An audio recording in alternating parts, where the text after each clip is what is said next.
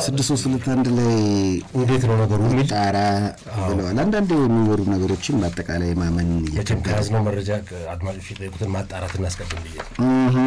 አንተ የጣራ ብትል ብትጥል ይላል እኮ። ደውዬለት ነበረ።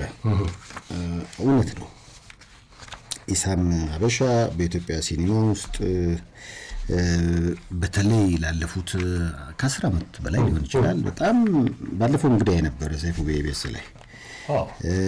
በዚህም በኢትዮ ኤፍኤም ላይ ስለ ፊልም የሚል ፕሮግራምም ነበረው።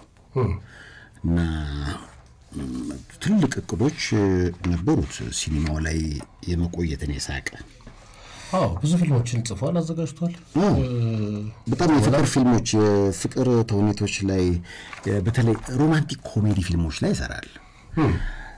ትልቅ ህልሞች ነበሩት። እንደውም መጨረሻ አካባቢ ከኔ ጋር ያወራነው ምንድን ነው መቀመጫቸውን እንግሊዝ ሀገር ያደረጉ ትልቅ የፊልም ፕሮዲውሰሮች ለ international ሲኒማ እያዘጋጁት ነበረ።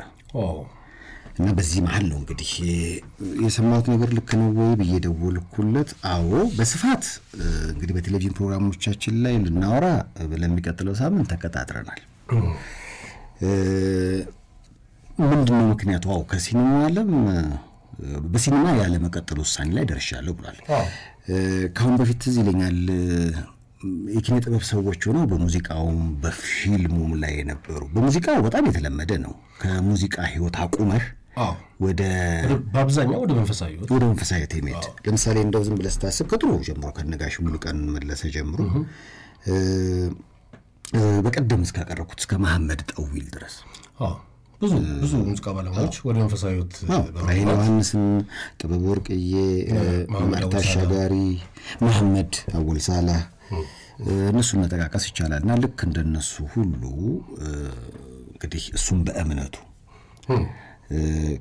በቃ መንፈሳዊ ህይወቴን ባጠናክር የሚል ውሳኔ ላይ ስለደረስኩኝ ካሁን በኋላ ዘርፍ ራሴን አውጥቻለሁ የሚለውን ምላሽ ሰጥቶኛል። ግን በዝርዝር ኢሳም ሊያወራኝ የፈቀደው የሚቀጥለው ሰይፉ በኢቢኤስ ፕሮግራም ላይ ነው። ስለዚህ ያኔ በዝርዝር አድማጮችም ጥያቄ ካላችሁ እዛ ላይ መቅረብ ይችላል።